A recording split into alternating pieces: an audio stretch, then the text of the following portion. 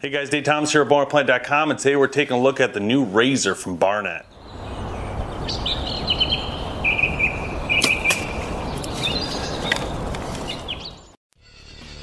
The all-new Barnett Razr features a carbon light riser, which is 43% lighter, reverse cam design, finger reminders and pass-through foregrip, custom composite laminated limbs, retractable underarm support, integrated skinny knife, adjustable butt pad, string suppressors, and 20 inches axle axle. Draw weight is 185 pounds, the power stroke is 16 inches, 400 feet per second, mass weight is 6.5 pounds, length is 34 and 3 quarter inches, width is 21.5 inches. Arrow length is 22 inches,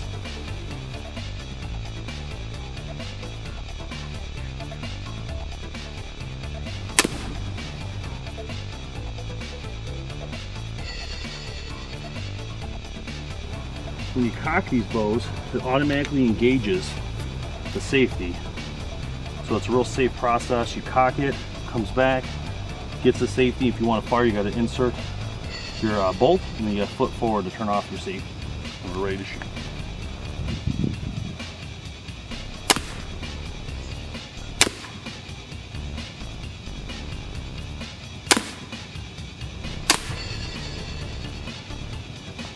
Razr's got a lot of cool things involved with it, and uh, one of the things is this piece here comes out, it rotates around to go underneath your armpit to help stabilize your shot.